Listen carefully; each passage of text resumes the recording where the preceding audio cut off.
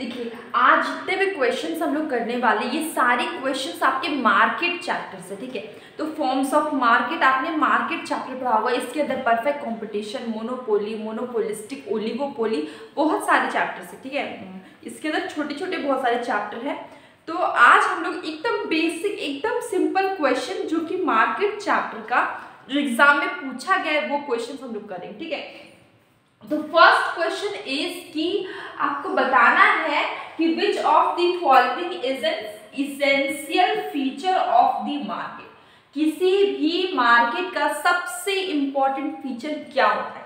Market में कौन कौन सी चीज़ें होती है, ठीक है? तो मार्केट में एक बायर होता है जो सामान किसी भी प्रोडक्ट को खरीदता है, एक सेलर होता है, ठीक है? आप सब जानते हो कि प्रोडक्ट को बेचने वाला और एक फिक्स एक प्राइस होता है ठीक है प्राइस होता है तो तीन चीज़ें जो कि किसी भी मार्केट में इंपॉर्टेंट है, एक तो खरीदने वाला बायर एक है बेचने वाला सेलर और एक चीज़ प्राइस ये तीनों सबसे इसेंशियल फीचर है मार्केट का।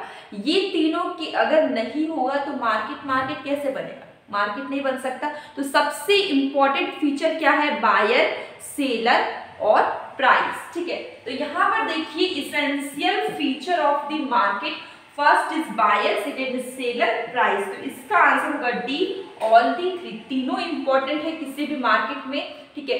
कुछ भी मार्केट तब बनेगा, एक मार्केट जब वहाँ पे एक खरीदने वाला होगा बायर एक बेचने वाला होगा सेलर और एक प्राइस होगा, तब एक मार्केट बनता है। तो इसका आंसर होगा डी ऑल दी थ्री इसके बाद second question is which of these is not essential feature of a market आपको ये चीज़ें पता चल गई कि एक मार्केट के लिए कौन कौन सी चीज़ें होनी चाहिए। अब आपको ये बताना है कि कौन सी चीज़ें नहीं होनी चाहिए, ठीक है? कौन से फीचर नहीं होने चाहिए? तो आपको पता है बायर सेलर और प्राइस तीन इंपॉर्टेंट फीचर हो गए। लेकिन यहाँ पर क्या बायर सेलर कॉमोडिटी कॉमोडिटी भी इंपॉर्टेंट है अगर कोई वहाँ पे किसी भी मार्केट में कॉमोडिटी होगा मतलब प्रोडक्ट होगा, तब तो उसे खरीदा या बेचा जाएगा। तो commodity is also important factor ठीक है? जो मार्केट में होना चाहिए। लेकिन बिल्डिंग विथ लोडिंग देखिए लोडिंग अनलोडिंग फैसिलिटी नहीं भी हो तो भी मार्केट काम कर मतलब मार्केट चल जाएगा। ठीक है लोडिंग अनलोडिंग फैसिलिटी होना उतना इम्पोर्टेंट नहीं है। इसलिए इसके नॉट इसेंशियल फीचर में building with loading unloading facilities आएगा। बायर सेलर कमोडिटी किसी भी मार्केट के लिए इंपॉर्टेंट है बायर होना चाहिए सेलर होना चाहिए और प्रोडक्ट होना चाहिए। अगर प्रोडक्ट होगा तभी तो उस, उसको बेचा जाएगा उसको खरीदा जाएगा। तीनों इंपॉर्टेंट फीचर लेकिन लोडिंग अनलोडिंग फैसिलिटी नहीं भी हुआ तो भी चलेगा। इसका आंसर हो जाएगा आंसर होगा डी इसके बाद क्वेश्चन है which of the following characteristic of monopolistically competitive market ठीक है? तो आपको बताना है विच कौन से कैरेक्टरिस्टिक है मोनोपोलिस्टिक कॉम्पिटिटिव मार्केट में? ठीक है?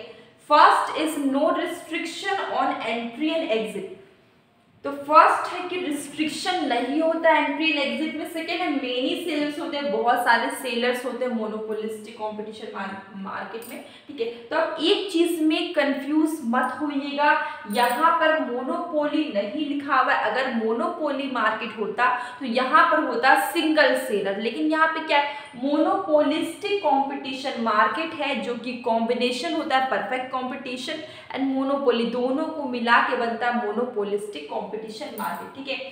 तो यहाँ पर यहाँ पे फ़र्स्ट क्या है? इसका features no restriction on entry and exit यहाँ पे एंट्री एंड एग्जिट में कोई रिस्ट्रिक्शन नहीं होता। सेकेंड है मेनी सेलर्स यहाँ पे बहुत सारे सेलर्स होते हैं। थर्ड है प्रोडक्ट डिफ्रेंसिएशन प्रोडक्ट में यहाँ पे क्या डिफरेंट डिफरेंट टाइप के प्रोडक्ट होंगे तो इसका आंसर होगा ऑल दी थ्री इसमें तीनों ऑप्शन क्या है? करेक्ट है। Answer is D all the three इसके बाद इसका नेक्स्ट क्वेश्चन क्या है? आपको समझ पा रहे ये क्वेश्चन कि यहाँ पर कैरेक्टरिस्टिक पूछा गया मोनोपोलिस्टिक कंपटीशन मार्केट ठीक है? मोनोपोलिस्टिक कंपटीशन मार्केट क्या है? परफेक्ट कंपटीशन और मोनोपोली दोनों को मिलके एक मार्केट बनता है, जिसको मोनोपोलिस्टिक कंपटीशन मार्केट बोलते हैं। और इसको किसने बना, इसको किसने इंट्रोड्यूस किया? चैम्बर्ली ने किया था, ठीक है? और ये मोनोपोलिस्टिक कंपटीशन मार्केट क्या? कॉम्बिनेशन है दोनों का परफेक्ट कॉम्पिटिशन मोनोपोली ठीक है? इसमें दोनों के फीचर्स पाए जाते हैं और ऐसा बोला गया है कि रियल वर्ल्ड में ना परफेक्ट कंपटीशन आपको मिलेगा, ना मोनोपोली मिलेगा। रियल वर्ल्ड में कोई मार्केट मिलता है, वो होता है मोनोपोलिस्टिक कंपटीशन मार्केट ठीक है? तो इस, इसमें वो, यहाँ पे कोई रिस्ट्रिक्शन नहीं होती एंट्री एंड एग्जिट में। यहाँ पर बहुत सारे मतलब कई सेलर्स होंगे मेनी सेलर्स होंगे। यहाँ पे प्रोडक्ट क्या होगा? डिफ्रेंसिएशन होगा। इसका आंसर हो गया डी ऑल दी तीनों। इसके फीचर्स है तीनों। इसकी कैरेक्टरिस्टिक है मोनोपोलिस्टिक कॉम्पिटिशन मार्केट ठीक है?